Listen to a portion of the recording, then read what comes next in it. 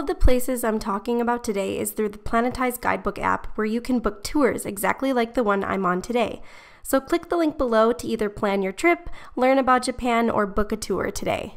On our way to our next destination, we stop by a stretch of land facing the Sea of Japan. This place is called Senjojiki, or a thousand tatami. Hey guys, good morning. So this is the fourth day of our trip, and um, we came across Senjojiki. The meaning is a thousand tatami. The rocks are supposed to represent tatami. So if you look over here, it's really pretty here. This is like actual ocean.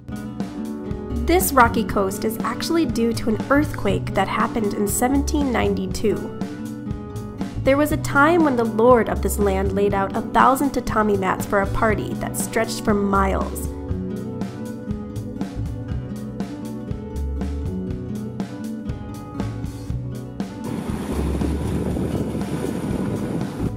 Senjojiki Coast is named one of the top 100 spots for a perfect sunset viewing experience. Our next destination was surprising. I've been to plenty of onsens, but not like this one. Furofushi Onsen is only 600 yen to enter, and you can enjoy a hot bath in reddish brown seawater. It may be strange, but it's actually good for your skin. The color comes from the iron that comes up from the beach, There's a spot for both women and men, as well as an indoor hot spring where you can relax and even stay the night.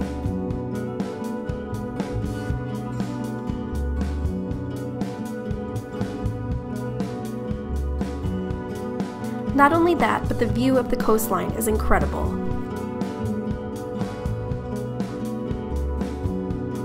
Literally becoming one with the earth puts this on my top 10 hot springs to visit in Japan.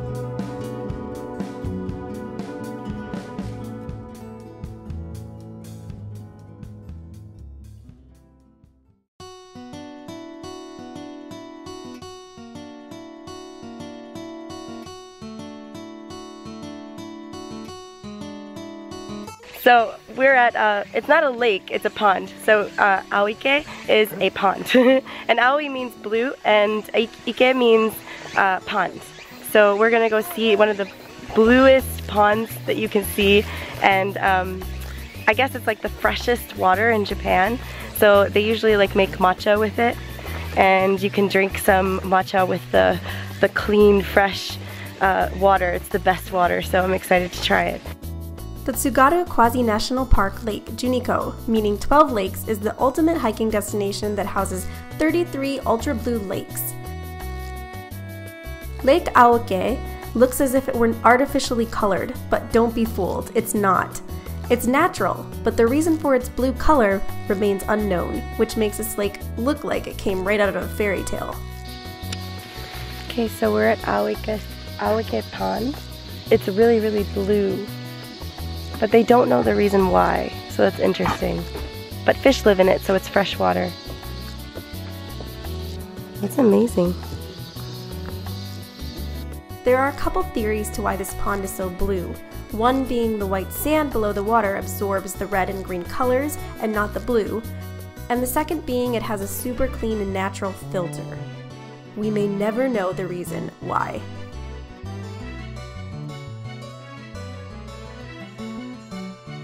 I checked my Planetyze guidebook to find out more about this place and all it has to offer. Everything I've talked about thus far is on this app. The guidebook is a great tool to plan your next trip to Japan. If you're huge on hiking, camping, or mountain climbing, this is the destination for you. You can only see 12 of these lakes once you reach the top of Mount Okuzure, and the view is supposedly incredible. We only saw a couple on this day, otherwise it would have taken a few hours, but what we did see was the bluest ponds and lakes ever discovered.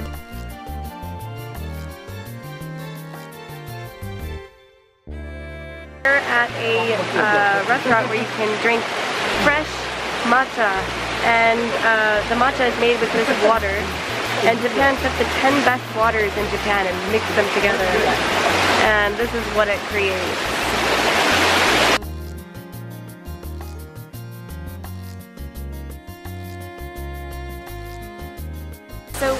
Across a sort of tea house type place where you can get free matcha. And I love matcha, so I'm really excited that it's free. So I'm to try it today and you can also see a beautiful view of the lakes and the trees and nature and it's gorgeous here. So uh, please come and enjoy.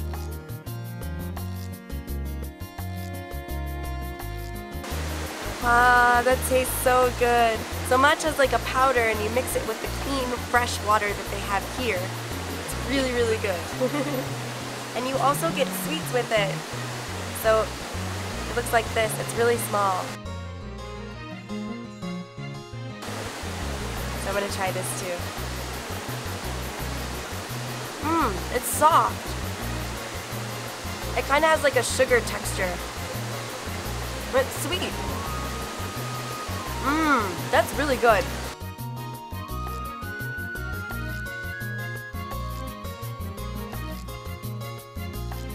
After enjoying some nice fresh tea, you can write in their notebook and leave a nice message about the place and the tea you've experienced drinking.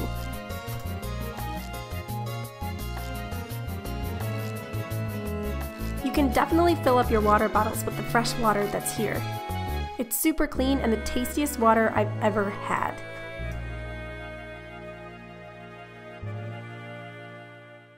Have lunch right now and I'm at Akashobi, which is famous for its uh, tuna steak.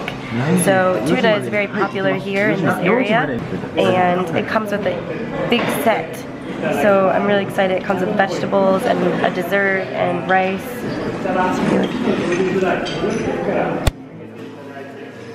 Yummy.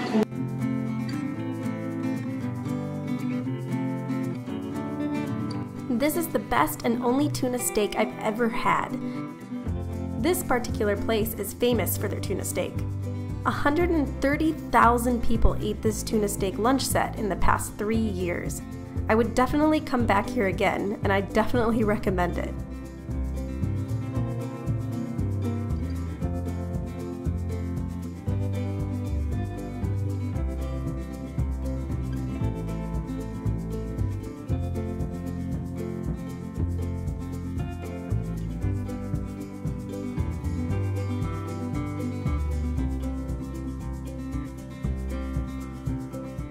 There is a particular way to eat this set.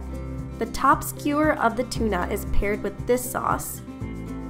The bottom skewer is paired with this red sauce. And the tuna on the plate is paired with the first sauce. So katsuobushi rice, and we have egg rice, and we have um, potato. You can check out the Aomori Apple gift shop right next door to the restaurant. Our next destinations were going to be the final destinations, so stay tuned for day 5 of our Aomori trip. Hey guys, don't forget to subscribe, like this video, and download the Planetyze guidebook for more information and book tours for these places today. Also, from now on, I'll be doing live shows on the LiveStar app every Sunday, Monday, and Wednesday mornings here in Japan. It's free, so search Liz Kelly and chat with me about anything you'd like. I'm thinking it's going to be at 9 a.m. Japan time, so please check that out.